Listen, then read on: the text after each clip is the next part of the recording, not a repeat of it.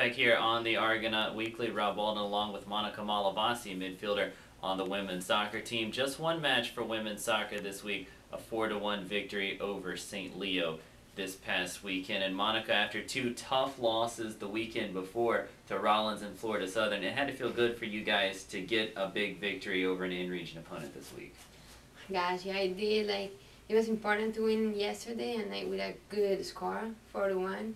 And San Leo was a great team. They played a great, a great game. They actually started winning. But I think after the two losses last week, and we had like a hard week. We worked hard. Like the team came together, and I think we had a positive attitude against like after the losses.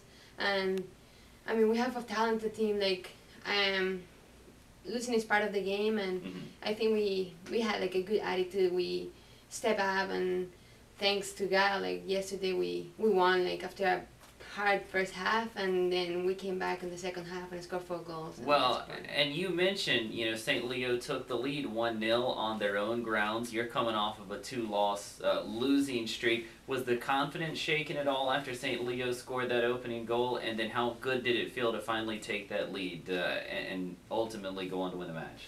Well, we have a very talented team. Like I think we have a great team. There's a lot of team chemistry, a great team chemistry, and I think we've been mature and uh, we've had hard moments. Last weekend was hard.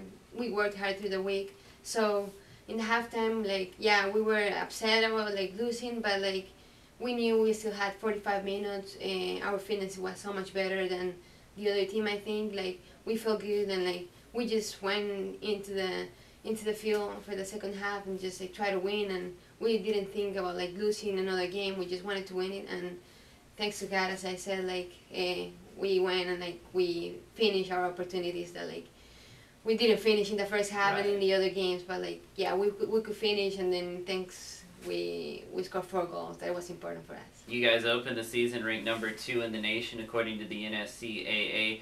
After two straight losses, you dropped completely out of the polls, which is a little bit of a surprise. What would it mean for you guys to get another national ranking this week after your big victory over St. Leo? Well, actually, uh, last year we were in ranked number sec, number two, and then we were ranked number one like for a long time, Right. and we ended up like finishing second. Like all we care about, like it's finishing first. Right. As our coach always says, it's about it's not about like the destination, but about the journey.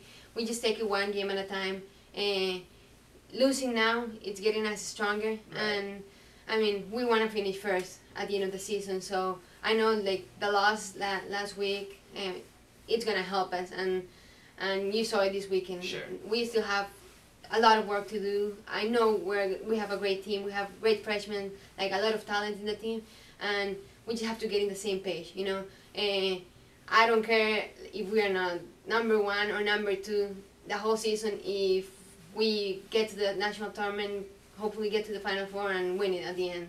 We care about being number one at the end of the year. So that's Monica Malavassi of the UWF women's soccer team. We'll see if they're nationally ranked again this week after a big 4 to 1 victory against St. Leo. Women's soccer takes on Spring Hill Wednesday, and then they're back home to face Lynn on Saturday. And of course, you can follow the action right here at GoArgos.com.